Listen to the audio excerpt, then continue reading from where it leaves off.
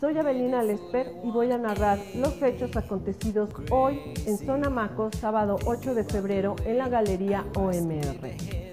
Estaba frente a una obra que consiste en un vidrio con dos pelotas, una piedra y una pluma atravesados, soportado sobre unos enclenques tubos de latón.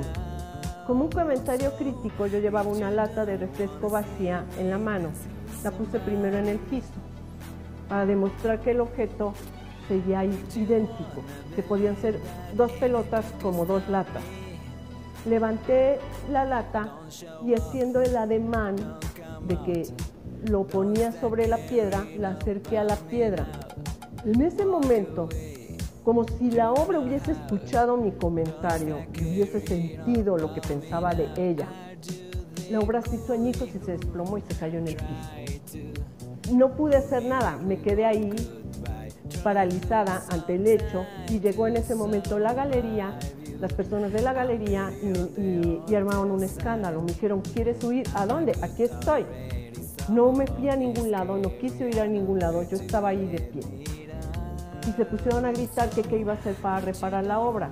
Bueno, hablando en los términos de arte, de ustedes valoran esto como arte, Duchamp con el gran vídeo le sucedió exactamente lo mismo. El gran vídeo se rompió y Duchamp dijo, doy por terminada la obra. Hasta la fecha el gran vídeo se sigue exponiendo roto. Que expónganla así, es parte de la provenance de la obra.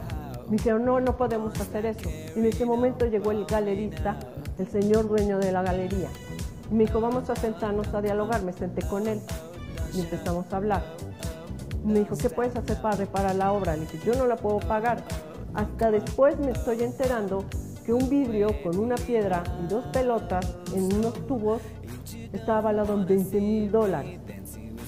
Dije, lo que puedo hacer es repararla. Dame los objetos, dame las fotografías, dame las medidas y yo te regreso eso montado en un vidrio de nuevo. Es la naturaleza de esos objetos. Se puede volver a hacer. Lo que a mí me sucedió le pudo haber sucedido al coleccionista, le pudo haber sucedido en un museo. Y también de la misma manera lo iban a reparar. Lo puedo reparar. Me dijo que eso no era posible porque lo tenía que supervisar el, el artista. Dije, entonces no puedo hacer más. Le pedí una disculpa, como lo vuelvo a hacer públicamente, por lo, por lo que sucedió. No, no lo hice intencionalmente, no la rompí, no la golpeé, no la toqué. Yo no rompo obras, yo no destruyo objetos. Yo tengo una columna y tengo mi crítica para decir lo que pienso de las obras. Me dijo que nada más le diera mis datos, mi teléfono. Le agradecí muchísimo que se comportara a esa altura. Le agradecí mucho que no lo llevara más lejos. Me acompañó y nos despedimos. Me dijo, dame tus datos. Si después yo hablo con el artista, voy a ver cómo lo manejo y si después quieres participar o cooperar en algo, está bien. Fue todo. Fue el acuerdo en que llegamos.